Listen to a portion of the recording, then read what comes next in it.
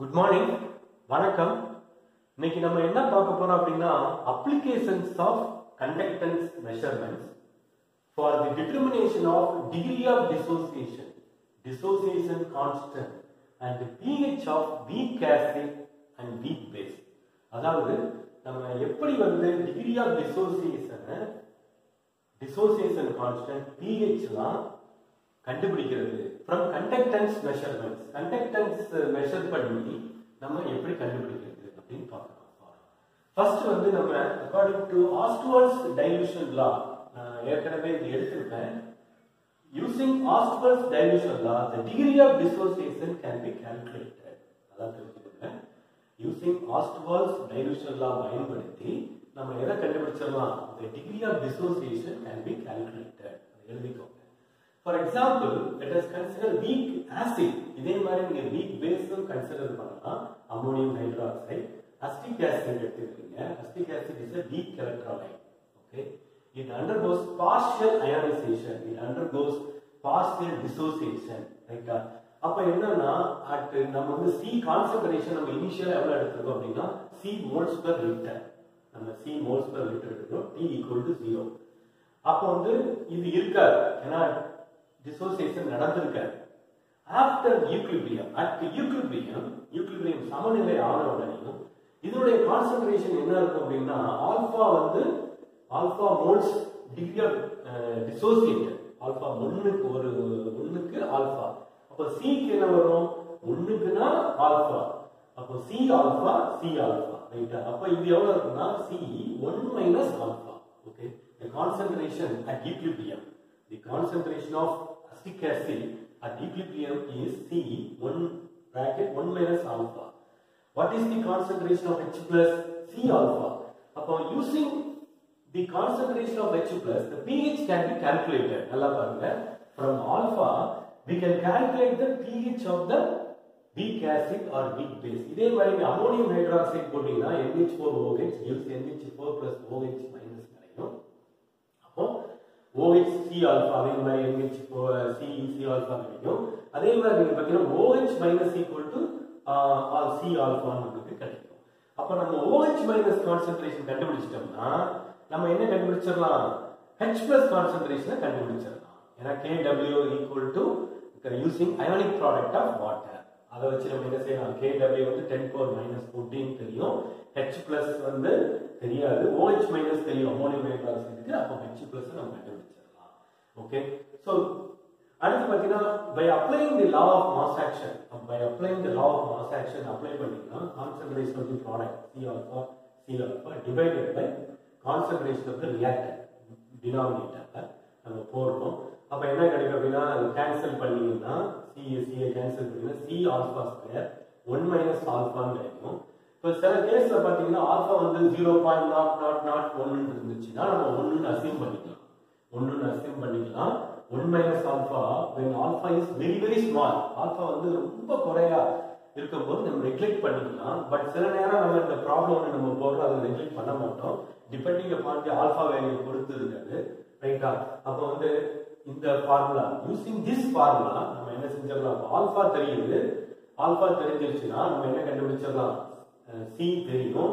அப்போ கேஏ கண்டுபிடிச்சிடலாம். Dissociation constant of weak acid or weak base கண்டுபிடிச்சிடலாம். அடுத்து நம்ம வந்து இது ஒன் மைனஸ் ஆல்பா ஒன்னு வச்சுக்கிட்டோம்னா அப்போ ஆல்பா ஈக்குவல் டு ஆல்பா கண்டுபிடிச்சிடலாம்.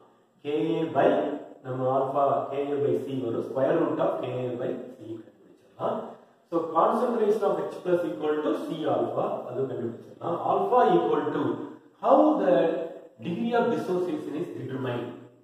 how the degree of dissociation is determined from conductance measurement அப்ப ஆல்பா ஈக்குவல் டு பாத்தீங்கன்னா நம்ம ஏற்கனவே பார்த்திருக்கோம் molar conductance at the concentration எந்த கான்சென்ட்ரேஷன்ல ப்ரிப்பேர் பண்ணியிருக்கோமோ அதனுடைய molar conductance of acetic acid or weak acid or any weak base எடுத்துக்கிறோம் அடுத்து டிவைடட் பை இது வந்து molar conductance infinite dilution molar conductance for example molar conductance of acetic acid at infinite dilution molar conductance of ammonium hydride அது எப்படி கண்டுபிடிக்கிறது? Week எலக்ட்ராலைட்டுக்கு strong நம்ம நம்மளுக்கு experiment மூலமாவே கண்டுபிடிச்சிடலாம். டெபை கட்டல் ஆல்சாமிக் ஈக்குவேஷன் இருந்து கண்டுபிடிச்சிடலாம். ஆனா நம்ம என்ன கண்டுபிடிக்க முடியாது? வீக் எலக்ட்ராலைட்டுக்கோ வீக் ஆசிடுக்கோ வீக் பேஸுக்கோ ஏஜிசிஎல் இந்த மாதிரி இதுக்கோ நம்ம கண்டுபிடிக்க முடியாது. அப்போ நம்ம என்ன செய்யணும்னா யூசிங் கோல்ட்ராஸ் லா அந்த கோல்ட்ராஸ் லா நல்லா படிச்சுக்கோங்க. Using கோல்ட்ராஸ் law the limiting concentration molar conductance at infinite dilution or zero concentration can be calculated ரைட்டா அப்போ நம்ம என்ன செய்யணும் இப்போ let us see the method how the degree of dissociation is measured how the pH is measured அப்படின்னு பார்த்தீங்கன்னா let us see the procedure அதுல மூணு ஸ்டெப் தான் இருக்கு ரொம்ப easy let us prepare first ஒரு கான்சென்ட்ரேஷன் ப்ரிப்பேர் பண்ணிக்கோங்க zero point zero one molar அதாவது என்ன கான்சென்ட்ரேஷனுக்கு உங்களுக்கு ஆல்ஃபா வேணும் அப்படின்னு. இப்போ ஜீரோ பாயிண்ட் ஜீரோ ஒன் அல்லது zero point zero two zero point zero five ஒவ்வொருக்கும் alpha மாறும். ஏன்னா இது மாறும். இது கான்ஸ்டன்ட் இது கான்ஸ்டன்ட் இது மாறும். So prepare zero point zero one molar or any particular concentration of நீ ஆசிட் ஆர் நீ பேஸ் ஓகே ப்ரிப்பேர் பண்ணிக்கோங்க. அடுத்து என்ன பண்ணுங்கன்னா அந்த இது ஆசிடை டுவெண்ட்டி எம்எல் எடுத்துக்கோங்க. அஸ்டிக் ஆசிடோ அல்லது அமோனியம் வீக் பேஸ்டோ இது எடுத்துக்கோங்க. Twenty ML எடுத்துட்டு கண்டக்டிவிட்டி செல்ல போட்டு place the conductivity cell and measure the conductance of the above solution இந்த சொல்யூஷனை ஊற்றி அப்போ first prepare the acetic acid weak acid or weak base of known concentration prepare பண்ணிக்கிறீங்க measure the conductance by placing conduct the conductivity cell in the beaker uh, containing the solution containing the above solution அடுத்து வந்து lambda infinity m molar conductance the molar conductance at infinite dilution or limiting concentration is calculated using Kohlrausch law உங்களுக்கு தெரியும் அப்போ நம்ம என்ன கண்டுபிடிச்சாச்சு alpha கண்டுபிடிச்சாச்சு ஆல்பால இருந்து நம்ம என்ன செய்யலாம் சி தெரியும் அப்போ alpha concentration of H plus தெரியும் pH equal to negative logarithm to the base 10 of H plus and concentration so we can calculate everything okay right. Now we will see a problem asked in IIT JAM okay? ரெண்டு problem பார்ப்போம். உங்களுக்கு அப்பதான் you will understand. இது பாத்தீங்கன்னா இந்த molar conductance of zero point zero one two mole per litre இது வந்து decimetre கியூப்னா one meet one decimetre cube equal to நான் வச்சுக்கோங்க litre moles per litre okay of aqueous solution of chloroacetic acid is hundred per மோ மோ மோ இன் ஓம் inverse அல்லது மோ centimetre square பாருங்க நல்லா பாருங்க. இப்போ சென்டிமீட்டர் ஸ்கொயர் கொடுத்துருக்காங்க. நம்ம போன கிளாஸ்ல பார்க்கும்போது மீட்டர் ஸ்கொயர் கொடுத்துருந்தாங்க. மீட்டர் ஸ்கொயர் கொடுத்துருந்தாங்க. மீட்டர் ஸ்கொயர்னா நம்ம என்ன பண்ணணும்? மோல் பர் மீட்டர் கியூப்னு போடணும். ரைட்டா இது வந்து சென்டிமீட்டர் ஸ்கொயர் இருந்தாலும் mole per metre mole inverse calculate alpha pKa and H plus கேட்டாங்க பிகே என்னது? டிசோசியேஷன் கான்ஸ்டன்ட் அதனுடைய நெகட்டிவ் லாபம் டு த பேஸ் டென் கேட்டிருக்காங்க. அவங்க கொடுத்துருக்கிறது ரெண்டு கொடுத்துருக்காங்க. ஒன்று என்னன்னா இந்த இன்ஃபினிட் டைல்யூஷன் இதாவது இன்ஃபினிட் டைலூஷன் அப்படின்னு மூலா கண்டக்டன்ஸ் இன்ஃபினிட் டைல்யூஷன் கொடுத்துருக்காங்க. அதே மாதிரி இதுவும் கொடுத்துருக்காங்க உங்களுக்கு. என்ன கொடுத்துருக்காங்கன்னா கண்டக்டன்ஸ் மெஷர் பண்ணியிருக்காங்க இந்த கான்சென்ட்ரேஷன் ப்ரிப்பேர் பண்ணியிருக்காங்க க்ளோரோஸ்டிக் ஆசிடர் அதை இந்த சொல் இந்த பீக்கரில் எடுத்துட்டு அவங்க என்ன செஞ்சிருக்காங்க கண்டக்டன்ஸ் மெஷர் பண்ணியிருக்காங்க இந்த இதுவும் கொடுத்துட்டாங்க. அப்போ lambda M by lambda in infinity M அப்போ lambda M for particular concentration இதில் கொடுத்துருக்காங்க. Divided by four hundred therefore if you calculate zero point two five ஒன்று கிடைக்கும் அடுத்து concentration of H plus alpha C alpha C alpha ரெண்டு ஒன்று தான் C alpha alpha C alpha வந்து zero point two five C வந்து zero point zero one two okay அப்போ நம்மளுக்கு என்ன கிடைக்கும்? Concentration of three into ten four minus three மோல்ஸ்னு கிடைக்கும். இதில் பிஹெச் கண்டுபிடிக்க சொன்னாங்கன்னா நெகட்டிவ் லாகரிதம் போன கிளாஸ் நீங்க பாருங்க அதில் நான் சொல்லி கொடுத்துருப்பேன். அடுத்து கேஏ ஈக்குவல் டு கேஏ கண்டுபிடிச்சு பிகேஏ கண்டுபிடிக்கணும். C alpha square divided by one minus alpha C வந்து zero point zero one two zero point two five four square divided by one minus இதில் பார்த்தீங்கன்னா ஆல்பா வேல்யூ வந்து ரொம்ப அதிகமாக இருக்கு. Association வந்து அதிகமாக இருக்கு. அதை நம்ம நெக்லெக்ட் பண்ணக்கூடாது. நம்ம ஜீரோ பாயிண்ட் ஜீரோ ஜீரோன்னு தான் நம்ம நெக்லெக்ட் பண்ணணும். புரியுதா? அல்லது நம்ம என்ன செய்யணும்? அந்த வேல்யூ நம்ம எடுத்துக்கிறீங்க. அப்போ எடுத்து போட்டு டென் ஃபோர் மைனஸ் த்ரீ வரும்.